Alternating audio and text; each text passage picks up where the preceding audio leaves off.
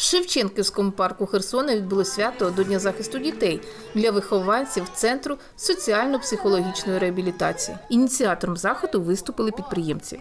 Я всегда рад их видеть. Для меня это очень тревожно. Это все для меня это как-то и морально, и гуманно. Все когда, ну, как сказать, что каждый человек смотрел вот это все передачи и как-то появился в душе такое, чтобы как-то могли поддержать этих детей, которые они без родителей. И вот э, сегодня праздник их, День защиты детей.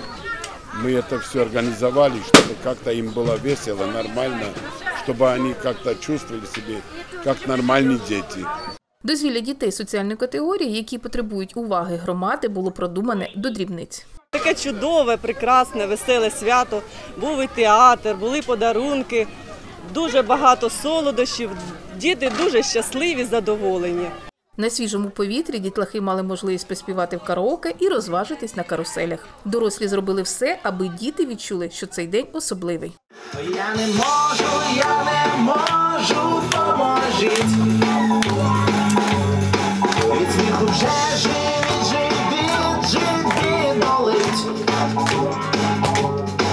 Жираф любить носоріг, воу, носоріг. Це просто диво, просто диво, просто сміх. Смачний обід на свіжому повітрі додав особливого настрою. Такі заходи є традиційними до Дня захисту дітей у Шевченківському парку.